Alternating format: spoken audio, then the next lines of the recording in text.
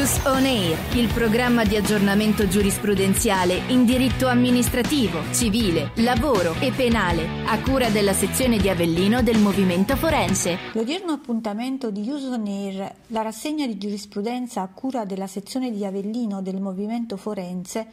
in materia di diritto e procedura civile dedica la propria attenzione alla ordinanza della Corte di Cassazione del 10 gennaio 2019 numero 403 che delibba in materia di separazione personale tra coniugi, dettando il principio secondo il quale la forma dell'appello è determinante sulla tempestività del ricorso. La Suprema Corte osserva che in tema di impugnazione della sentenza di separazione personale tra coniugi, la disposizione secondo la quale l'appello è deciso in Camera di Consiglio, ossia la legge numero 74 del 1987,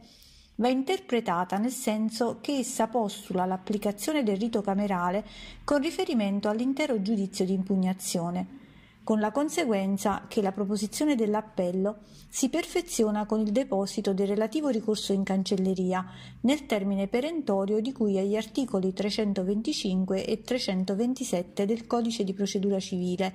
costituendo per converso la notifica del ricorso e del decreto di fissazione dell'udienza un momento meramente esterno e successivo alla fattispecie processuale introduttiva del giudizio di impugnazione funzionale soltanto all'instaurazione del contraddittorio. Tuttavia, ove l'appello sia stato introdotto con atto di citazione e non con ricorso, la nullità dell'impugnazione non risulti predicabile, in applicazione del generale principio di conservazione degli atti processuali, sempre che l'atto viziato abbia i requisiti formali indispensabili per il raggiungimento dello scopo ed il relativo deposito nella cancelleria del giudice adito sia avvenuto entro i termini perentori fissati dalla legge. La Suprema Corte precisa di fatti che l'appello deciso in Camera di Consiglio è ammissibile se viene rispettato il termine di sei mesi dalla sua proposizione mediante deposito del ricorso. Superato questo tetto va dichiarato inammissibile. Nel caso invece in cui l'appello sia stato prodotto con atto di citazione, come nel caso concreto alla valutazione della Suprema Corte e non con un ricorso, al fine del rispetto del termine di sei mesi per l'impugnazione, va considerata anche l'iscrizione al ruolo del procedimento, che deve essere necessariamente eseguita entro detto termine.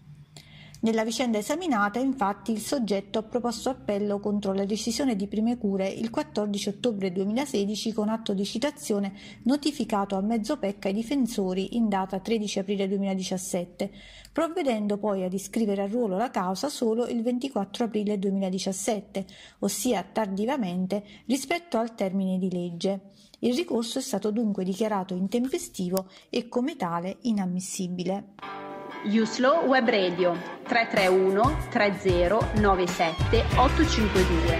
www.webradiouslow.it Ascolta quando vuoi e dove vuoi Uslow Web Radio, la radio per gli avvocati fatta da avvocati. Scarica la nostra app per Apple e Android. Tutti i giorni.